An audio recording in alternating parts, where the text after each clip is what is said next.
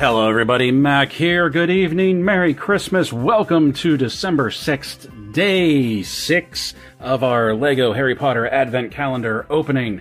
So far, we have had the Privet Drive road sign, which is sort of like the starting line. We have Harry as a minifigure, which is also one of the pieces that you use to play the game. We have the fireplace, the letters coming through the fireplace, and a cake box and cake. The cake is not real. So, what are we going to get today for day six? Well, I think obviously it's going to be another minifig because there's no space for six right here.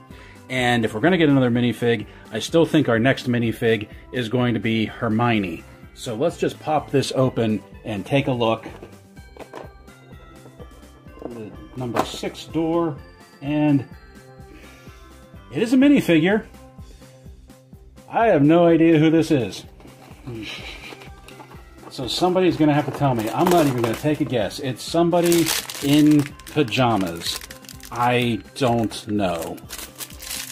I only know, like I said, the three mains Harry, Hermione, Ron, and then Snape and Dumbledore.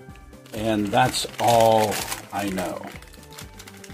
But what we have here is a little kid you can tell by his feet, his legs. And he has a pretty regular haircut. He actually has the the Emmet hairpiece with that cowlick on back. So you see right there, some powder blue PJs. This would be great for like a kid in the uh, Christmas village waiting for Santa to come down. He has this smirk on his face right here, and he has this scared look right here. What is this on his back? Is that a pigtail? Okay, so he has a pigtail too. I have no idea what's up with this. I mean, he's a cool looking figure. He looks good. Sometimes the simplest paint apps are some of the best looking paint apps. I like the stripes on his PJs, like I said, and there's crinkles in his shirt, but I have no idea what's up with this pigtail right there. So we're just going to set him down here with Harry I'm legitimately curious as to who this is, so please, somebody, let me know who we got going on down here. Because I'm guessing he is going to be one. I'm thinking there's only four minifigs in it this year, and those will be the four pieces to move through the game. Because, like we keep saying, this year it's a board game. And that was more intriguing to me than the city set, which was just this all over again, where we had a little mini diorama. Last year was cool. This year I wanted something better. Or not something better, but something different. Because I'm sure there are people that like the city set over here. Now, it occurred to me today, uh, I was doing a video for tomorrow, that it occurred to me that we have a lot coming down the line for December. We have Halo Infinite dropping in a couple of days. We have the Book of Boba Fett for the Star Wars fans that are coming out in a couple of days um, in a couple of weeks rather.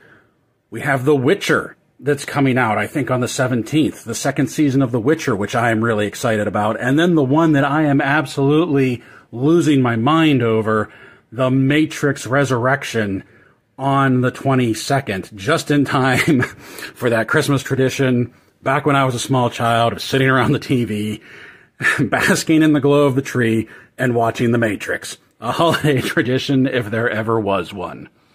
Now, speaking of holiday traditions, that does it for our Advent calendar. But over here, we have my dog's Advent calendar 25 days of meat treats to answer a question that was asked. No, they're not all the same because there is turkey, chicken, and duck.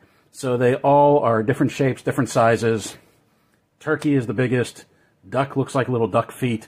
And the chicken kind of looks like stars.